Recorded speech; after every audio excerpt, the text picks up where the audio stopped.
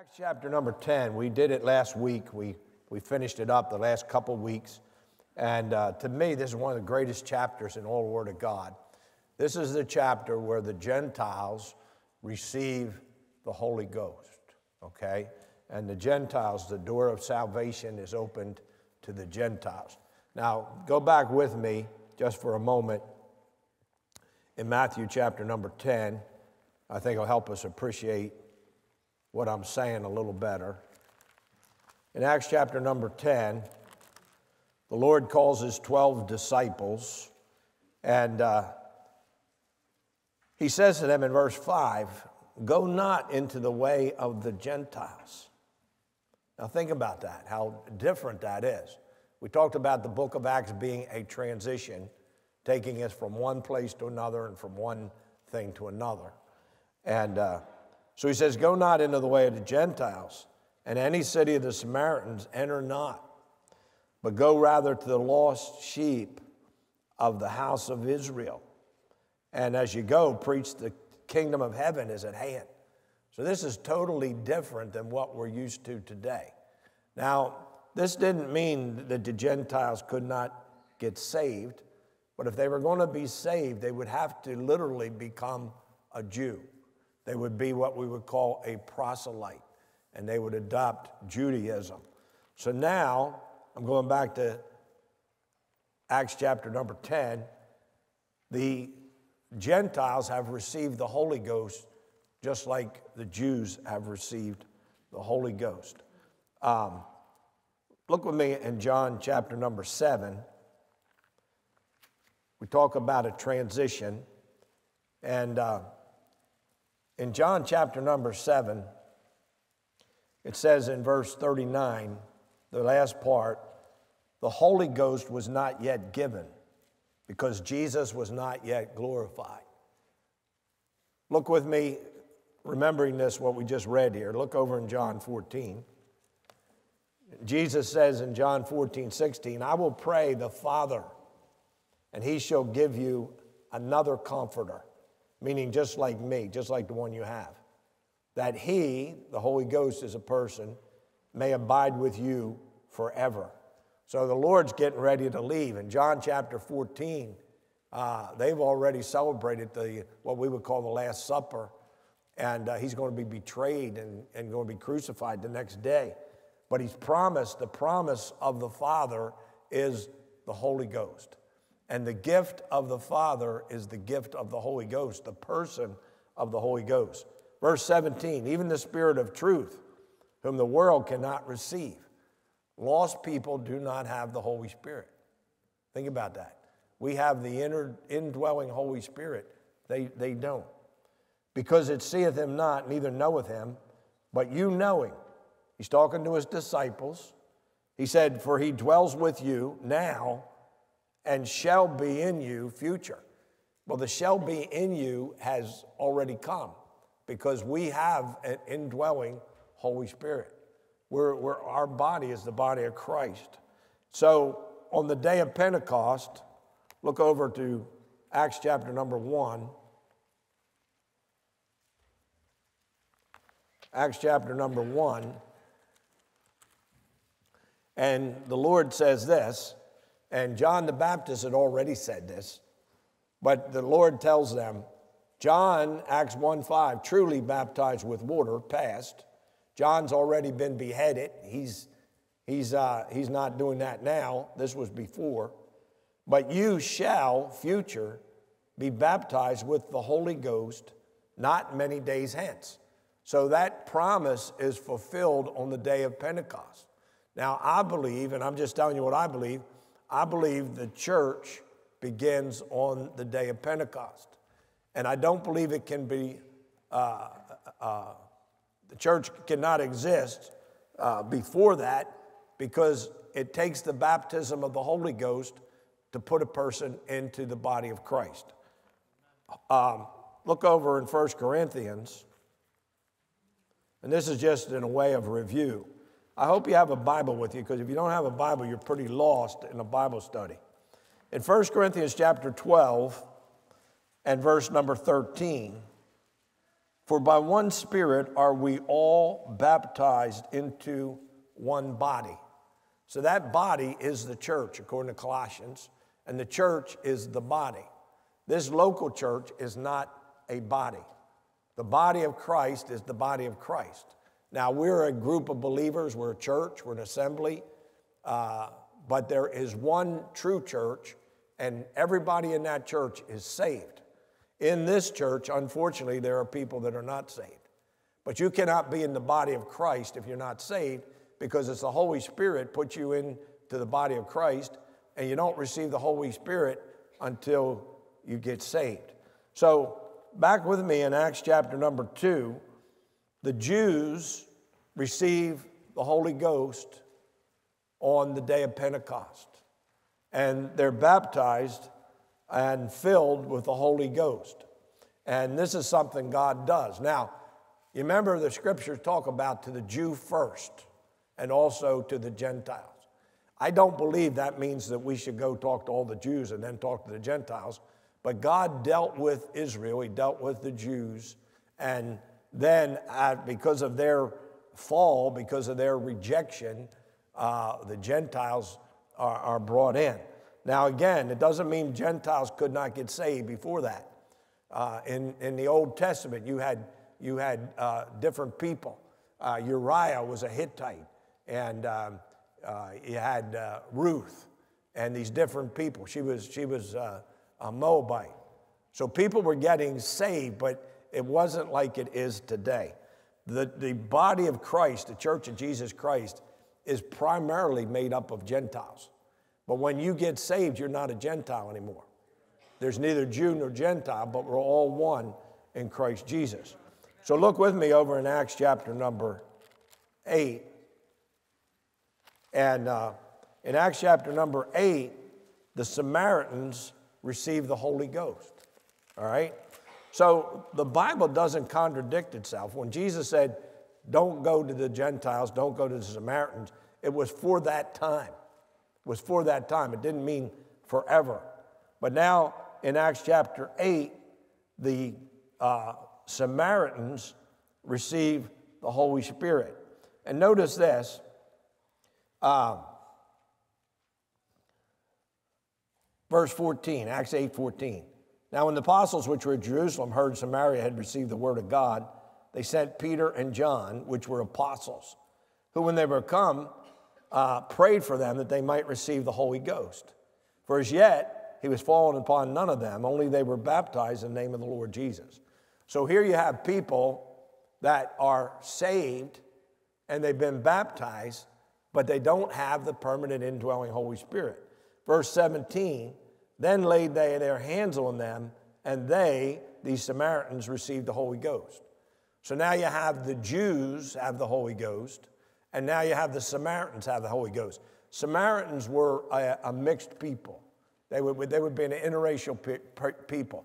They were part Jew and part not Jew. And they didn't worship the Lord in Jerusalem, and they weren't, uh, they would be considered by the Jews second class citizens, and the Gentiles would be third class citizens. So now in Acts chapter number 10, and we went over this last week, um, Peter is preaching. Now, think about this. Peter is at Pentecost. Peter and John come down to the Samaritans and lay hands on them, and they receive the Holy Ghost. And Peter is the one God uses uh, for the Gentiles. Now, where, where was Peter? Peter was in Caesarea, okay? Uh, Peter was in Joppa. But look at Acts chapter 10 verse 1. There was a certain man in Caesarea called Cornelius. So Cornelius is in Caesarea. And what does the Lord tell him to do? He says, Call for Peter, and Peter will tell you what you have to do. Look at Acts chapter 10, verse 6. He lodges with one Simon a tanner whose house is by the seaside. Now, if you don't have a King James Bible, it stops right there. But the Bible says this the true Bible says, He shall tell thee what thou oughtest to do. So God tells him, Send for Peter, and Peter will tell you what to do. Now, what's odd about that? Look in Acts chapter number 8 and verse 40. Philip leads the Ethiopian eunuch to the Lord. He baptizes him. Verse 40 Philip was found at Azotus, and passing through, he preached in all the cities till he came to Caesarea. So, where is Philip? He's in Caesarea. Look over in Acts chapter number 21. We're jumping ahead a little bit, but we're talking about Paul now. And the next day, uh, we that were of Paul's company departed and came to Caesarea. And we entered into the house of Philip the evangelist, which one of the seven had abode with him. Philip is in Caesarea, but God tells Cornelius to call for Peter, who's all the way over in Joppa, like a day and a half's journey away. Now, why did he do that? I think because it's so important for the Gentiles to get the Holy Ghost, and God uses an apostle, and especially Peter, to bring that message and, and to open that door. Look back with me in Matthew 16. I know we're looking a lot of places here, but we're studying the Word of God. And you got to, the best commentary on the Bible is the Bible, amen? So in Acts chapter 16, Jesus says, Who do men say that I am? Well, you're John the Baptist, you're one of the prophets. Who do you say I am? Well, Peter says in verse 16, Thou art the Christ, the, the anointed one, the Messiah, the Son of the living God. What a tremendous profession of faith. Jesus says this Blessed art thou, Simon Bar Jonah, for flesh and blood has not revealed it unto thee, but my Father which is in heaven. So God showed Peter who Jesus was. If you know who Jesus is, God showed you who he is. He revealed him to you. The Lord revealed himself to you. He does that through the Word of God and through the Holy Ghost. Now, notice what he says next. We very seldom go any further. He said, Thou art Peter, upon this rock I'll build my church. And we know the church is built upon Christ. This, it's not built on a man, it's not built on a sinner. The gates of hell shall not prevail against it. But notice the next verse I will give unto thee the keys of the kingdom of heaven. So the Roman Catholic Church claims Peter as their first pope, even though the church, Catholic Church didn't start till 300 AD at Constantine's time. But he says, I'll give you the keys of the kingdom of heaven. Whatsoever thou shalt bind on earth shall be bound in heaven. Whatsoever thou shalt uh, loose on earth shall be loosed in heaven. Now, here's what I believe I believe Peter opens the door of salvation to the Gentiles.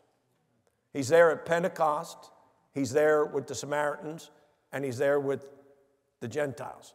And he's the only one that's there in all three places where they all receive this permanent indwelling Holy Spirit.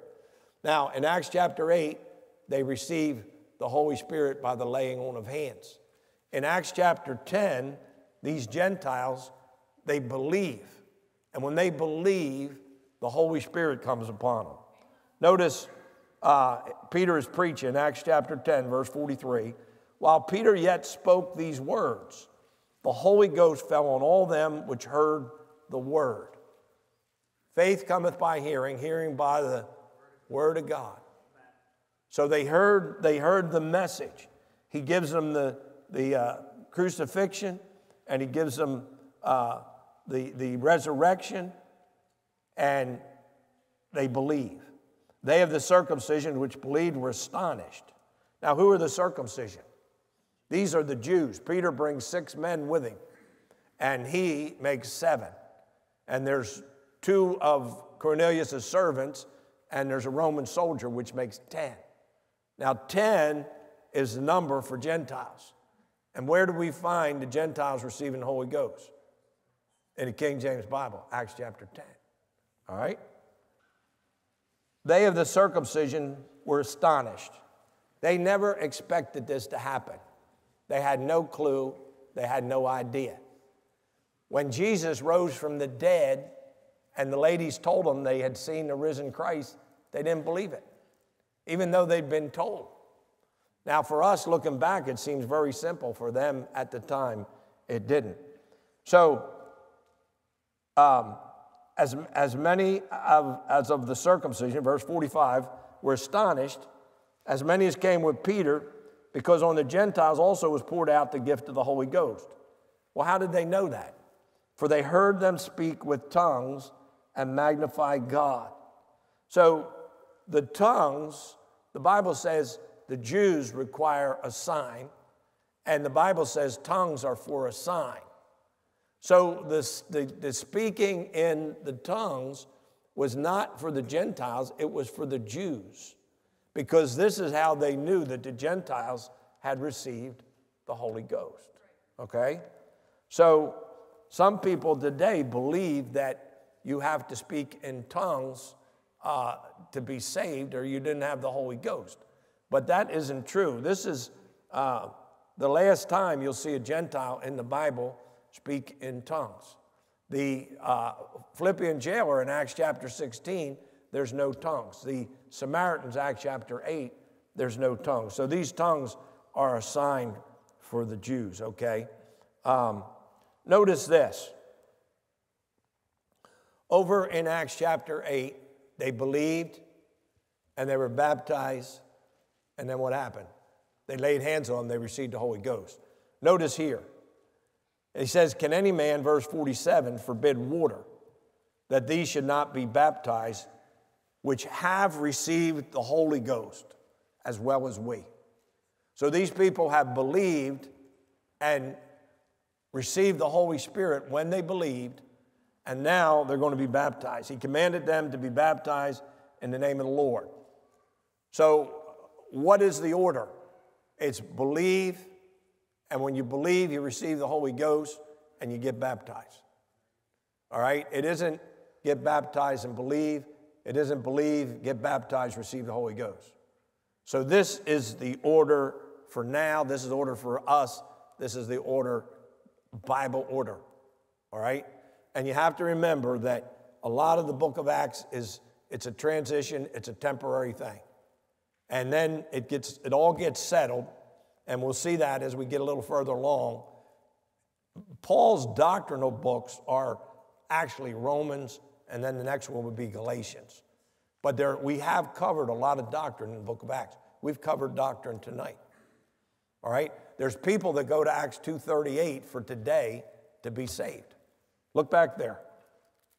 You need to know this is not the plan of salvation for today.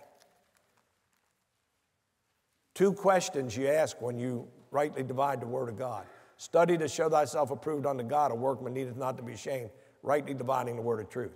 The two questions we've gone over a million times who is it written to, and when is it written for? Acts chapter 2, verse 38 is not written for today. You know, the, the Duck Dynasty people down there, they have their television shows and all that. They're, they're Campbellites, they're Church of Christ, and they believe in baptismal regeneration and believe Acts 2.38 and believe you have to get baptized to be saved. And that is not true. That's a heresy. You had to believe in the Lord Jesus Christ. When we go through the book of Romans, there's all kind of verses in there justified by faith. Justified by faith, justified by faith. So look at Acts 2:38. Peter said unto them, Repent. Who are the them? He's talking to the nation of Israel at corporately. He's not talking to Gentiles, he's not talking a New Testament message here. He's talking about a, a, a one time thing here. Uh, repent and be baptized, every one of you, in the name of Jesus Christ for remission of sins. We'll see over in Acts 19 where there were some people who were still believing in this uh, and didn't, didn't, hadn't been enlightened yet with the full, full gospel. Um, the full gospel is this Jesus saves, period, by faith, by faith alone. Uh, that's, that's what Jesus does. Um, trying to look, I got a couple notes here. Let's, uh, let's go on. We're going to John chapter, Acts chapter 11. I wanted to say something. I forget what I want to say. Um, oh, let, let's look at this. We've done this before. A lot of this we've done before, but it's good to redo it. Look at 1 Corinthians chapter 13. Well, no, let's look at something else. Look at Galatians with me. Look at Galatians, chapter number 3. And this verse backs up 1 Corinthians 12 13. By one Spirit, you're all baptized into one body. This verse says, You're all the children of God by faith. Galatians 3:26. In Christ Jesus. Not by works, not by baptism, by faith, okay? Faith alone. And then it says this For as many of you, the ones that have been saved by faith, as many of you as have been baptized into Christ, have put on Christ. So, what does it mean to be baptized into Christ? It means a spiritual baptism. John truly baptized with water. You shall be baptized with the Holy Ghost not many days hence. So, the true baptism, one Lord, one faith, one baptism, is a spirit baptism. And when we baptize somebody in water, it's just a picture of what the Holy Spirit does and a picture of Christ and, and the resurrection. All right? Look with me over in um, 1 Corinthians, chapter number 13. 1 Corinthians chapter number 13. Look at 1 Corinthians 14 22. Wherefore tongues are for a sign. All right, for 1 Corinthians 14 22. Who are signs for? According to 1 Corinthians. The Jews require a sign. Are you a Jew? You're not a Jew. If you're saved, you're a Christian. If you're not saved, you're a Gentile. But you don't require a sign. When Moses asked, when the Lord told Moses, go down and tell uh, uh, Pharaoh, let my people go, Moses wasn't concerned about Pharaoh, he was concerned about his own people because they'd already rejected him 40 years ago and didn't want him to lead them. So the Lord said, Well, here's what you're going to do you're going to show them the sign. And he told him to throw the, the, the rod down and turn into a serpent. And then he told him put his hand in his shirt. He pulled it out and it was leprous. He put it in again, it was clean. So it was a gift of healing. So 1 Corinthians 13, charity never faileth. So charity is something that just goes on and on. But whether there be prophecies, they shall fail. So we're going to see a, a prophet in Acts chapter 11. And uh, so that means they're, they're, going to, they're going to stop. Whether there be tongues, they shall cease. They're going to stop. Whether there be knowledge, a, a gift of knowledge, it shall vanish away. For we know in part and we prophesy in part. But when that which is perfect is come, then that which is in part shall be done away. Now, when that word perfect doesn't mean faultless, perfect, like, you know, you have a perfect breakfast or a perfect this or that. It means complete. All right? It means to be complete. The man of God needs to be perfect, needs to be complete.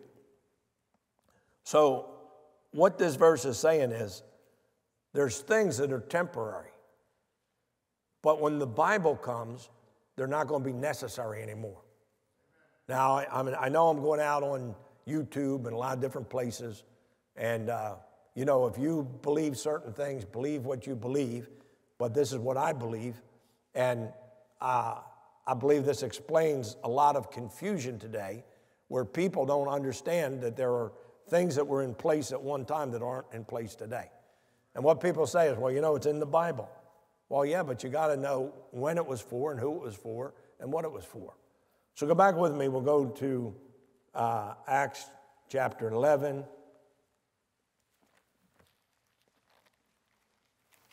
Acts chapter number 11. So again, we have an indwelling Holy Spirit that we receive when we get saved. Now, when I got saved, I did not know I received the Holy Spirit.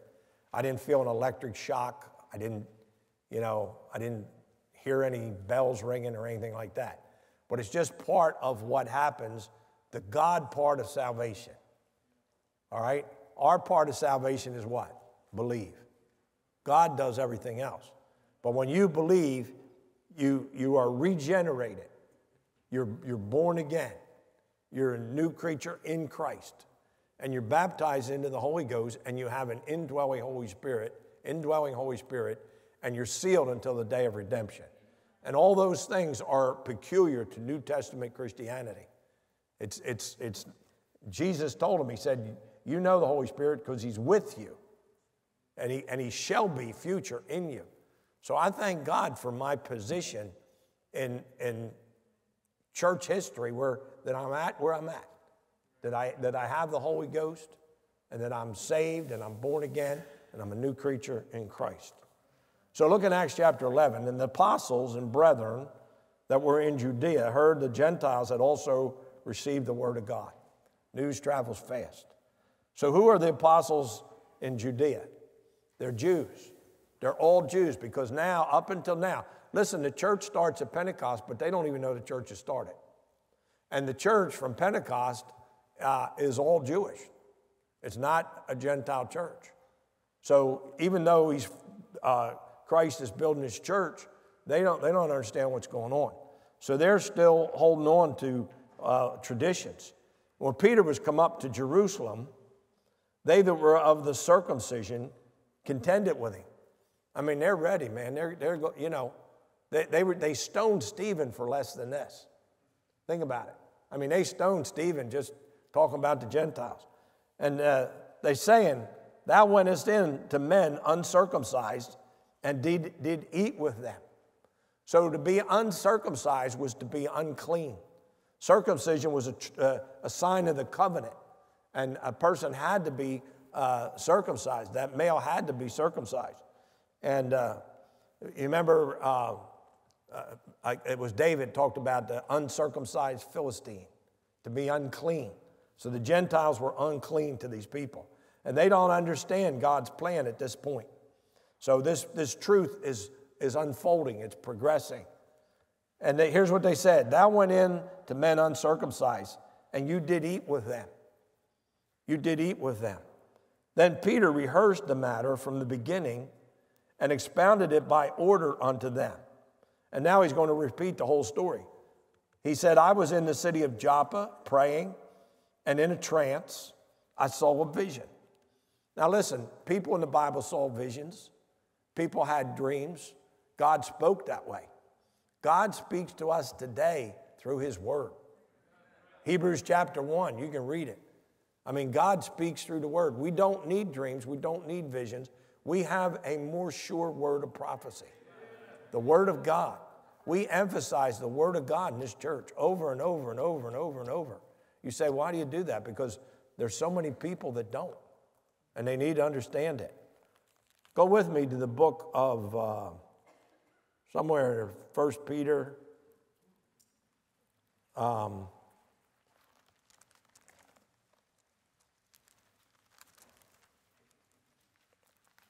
I'm in James. I'm getting there though.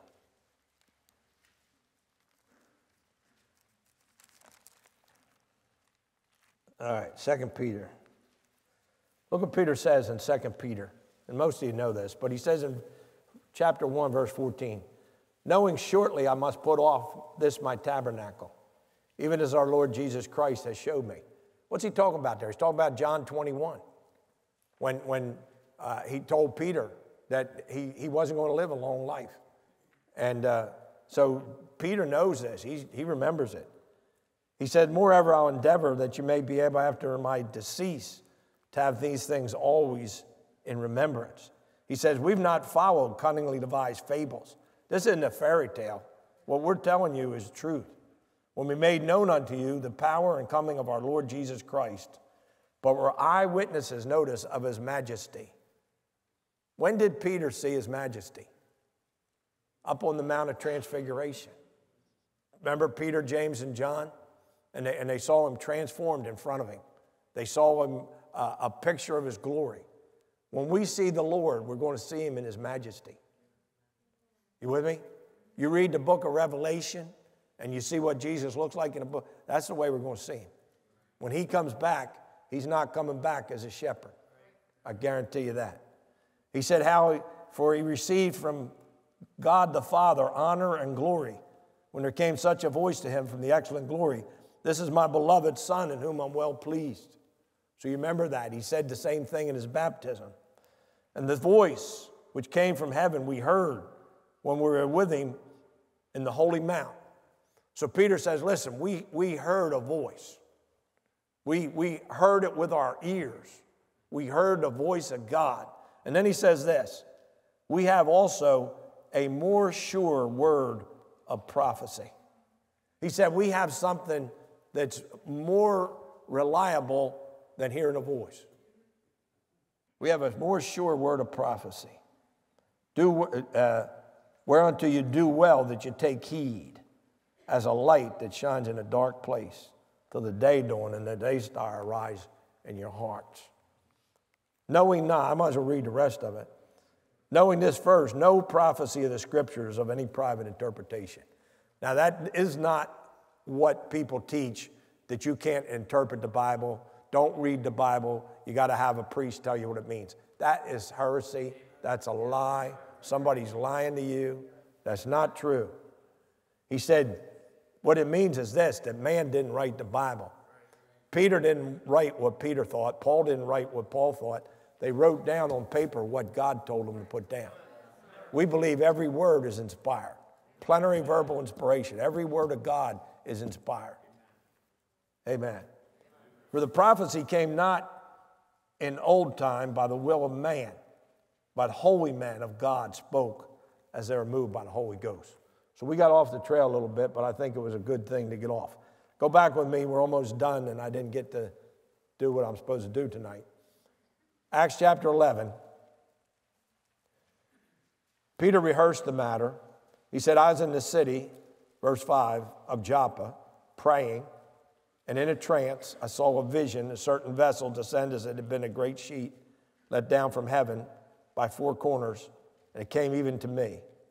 Upon the which, when I had fastened mine eyes, I considered and saw four footed beasts of the earth, wild beasts, creeping things, and fowls of the air.